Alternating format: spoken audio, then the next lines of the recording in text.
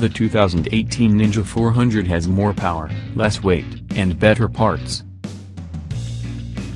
The new Ninja 400 has a great distribution of power throughout the rev range, offering good low and mid-range grunt for the street.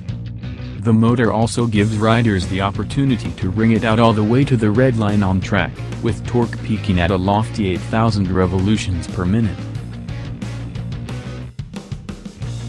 The 2018 Kawasaki Ninja 400's power plant increased its stats in many ways, but not in size or weight. While the bore and stroke, compression ratio, and displacement grew, its physical size did not. Kawasaki has introduced larger diameter header pipes that accommodate more exhaust flow.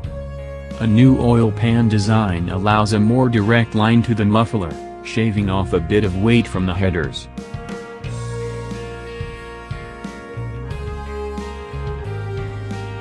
When it comes to handling, the 2018 Ninja 400 is as agile as can be. Whether you are an experienced rider or someone with a newly minted M-Class license, you'll quickly discover that it takes almost no effort to whip the Ninja 400 around. The low 31-inch seat height returns. While doubling the padding, Kawasaki shaved the profile of the seat, allowing for increased mobility. Additionally, the clip-on style handlebars have been moved back slightly, encouraging a more upright position. At the same time, the foot pegs have been moved back a bit, angling you forward.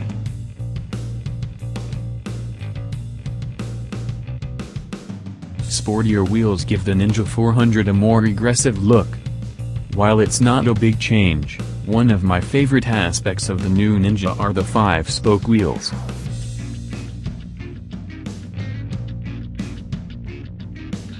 The new Ninja receives new suspension. Though it's sprung and damped on the softer side, mainly to accommodate new riders, it has good damping characteristics, settling quite well. That's good because the only adjustment is shock spring preload.